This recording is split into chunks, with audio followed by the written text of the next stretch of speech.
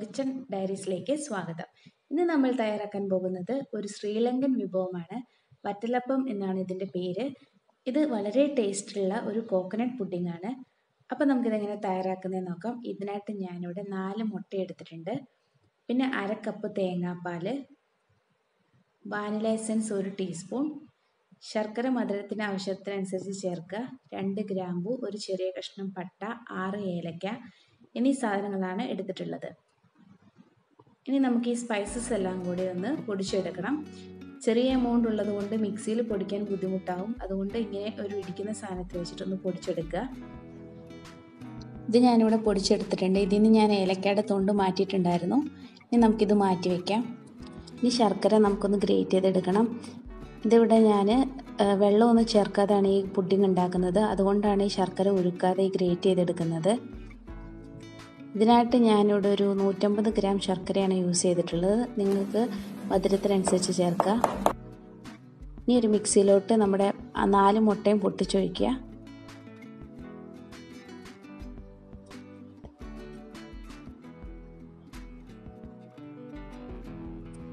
അതിലേക്ക് ഒരു teaspoon vanilla എസൻസും കൂടെ ചേർക്കുക. എന്നിട്ട് ഇത് നന്നായിട്ട് അടിച്ചിട്ട് വരണം. ഇതിപ്പോൾ നന്നായിട്ട് അടിഞ്ഞിട്ടുണ്ട്. നമുക്കിതൊന്ന് മാറ്റി വയ്ക്കാം ഇനി ഒരു ബൗളിലേക്ക് തേങ്ങാപ്പാൽ ഒഴിക്കുക. നമ്മൾ നേരത്തെ ഗ്രേറ്റ് ചെയ്ത് വെച്ച ശർക്കരയും കൂടി ഇട്ട് കൊടുക്കാം. ഇനി ഇത് നന്നായിട്ട് മിക്സ് ചെയ്യുക. ശർക്കരയെല്ലാം അലക്കുന്നിട വരെ നന്നായിട്ട് മിക്സ് ചെയ്യുക. ഞാനിവിടെ തേങ്ങാപ്പാൽ എടുത്തത് തേങ്ങയിലേക്ക് ഒരു ടേബിൾ സ്പൂൺ വെള്ളം ചേർത്തിട്ട് അരച്ചെടുത്ത തേങ്ങാപ്പാലാണിത്.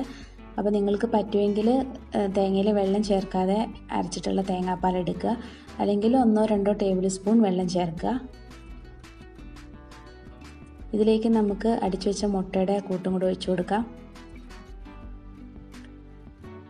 സ്പൈസസും ചേർത്ത് കൊടുക്കാം. ഇനി ഇത് വീണ്ടും നന്നായിട്ട് മിക്സ് ചെയ്യുക. അപ്പോൾ ഞാൻ ഇതിനു മുന്നേ ഫ്രൂട്ട് സലാഡും ഐസ്ക്രീമും വെറൈറ്റി സാലഡൊക്കെ ഇട്ടിട്ടുണ്ടായിരുന്നു. നിങ്ങൾ ഇതുവരെ അത് ട്രൈ ചെയ്തിട്ടില്ലെങ്കിൽ ഒന്ന് ട്രൈ ചെയ്യണേ. ഇതുപോലത്തെ ഒരു ബൗളാണ് ഞാൻ എടുത്തിരിക്കുന്നത്. അപ്പോൾ ഇതുപോലെ ഒരു കുഴിയുള്ള ബൗൾ എടുക്കുക. അതിലേക്ക് ബട്ടർ തേച്ച് കൊടുക്കുക.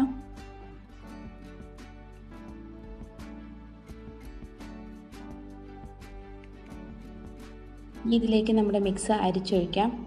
അപ്പോൾ ശർക്കരയുടെ അഴുക്കൊക്കെ ഉണ്ടെങ്കിൽ അതൊക്കെ പെടാതെ ഇരുന്നോളും.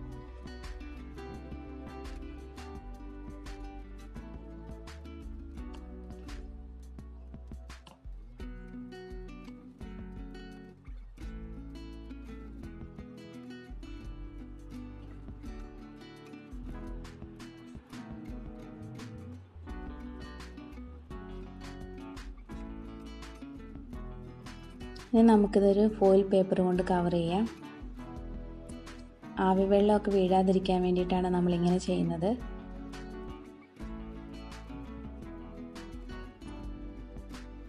ഇനി ഞാൻ നേരത്തെ ഇത് അപ്പച്ചെമ്പിൽ വെള്ളം തിളപ്പിച്ചിട്ടുണ്ടായിരുന്നു. അതിലേക്ക് നമുക്ക് ഈ പാത്രം വെച്ച് കൊടുത്തിട്ട് ഒരു മുപ്പത് മുതൽ ഒരു നാൽപ്പത് മിനിറ്റ് വരെയാണ് ഇതിനെടുക്കുക. ഇപ്പോൾ ഒരു നാൽപ്പത് മിനിറ്റ് കഴിഞ്ഞിട്ടുണ്ട്. ഇനി നമുക്ക് ഇത് എടുക്കാം. എടുക്കുമ്പോൾ സൂക്ഷിച്ച് കൈ പൊള്ളാണ്ടൊക്കെ എടുക്കണേ.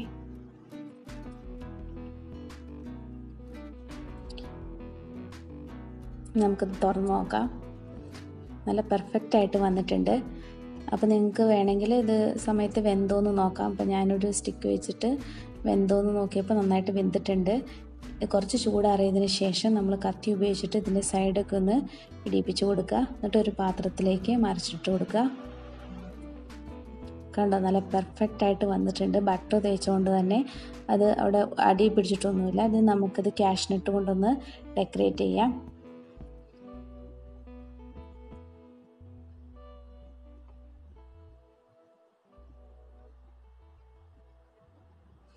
ഇത് ഞാനൊന്ന് മുറിച്ച് കാണിക്കാം. കണ്ടോ? നല്ല സോഫ്റ്റ് ആയിട്ട് തന്നെയാണ് ഇരിക്കുന്നത്. നല്ല സോഫ്റ്റ് ആയിട്ടുള്ള അപ്പമാണിത്. ഇത് എന്റെ ഒരു സബ്സ്ക്രൈബർ സ്നേഹ ഉണ്ടാക്കിയ മടക്കപ്പാണ്. നിങ്ങൾ ഇതുപോലെ നിങ്ങൾ ഉണ്ടാക്കിയിട്ട് അതിന്റെ ഫോട്ടോ എടുത്ത് എന്റെ മെയിലിലേക്ക് അയച്ചു കഴിഞ്ഞാൽ എനിക്കിങ്ങനെ ഫോട്ടോ പോസ്റ്റ് ചെയ്യാൻ പറ്റും. വീഡിയോ ഇഷ്ടമായെങ്കിൽ ലൈക്ക് ചെയ്യാനും ഷെയർ ചെയ്യാനും സബ്സ്ക്രൈബ് ചെയ്യാനും മറക്കല്ലേ? അപ്പോൾ നിങ്ങൾക്ക് എങ്ങനെ ഉണ്ടാക്കി നോക്കിയിട്ട് എങ്ങനെയുണ്ടെന്ന് കമന്റ് ബോക്സിലൂടെ അറിയിക്കുക. Thanks for watching bye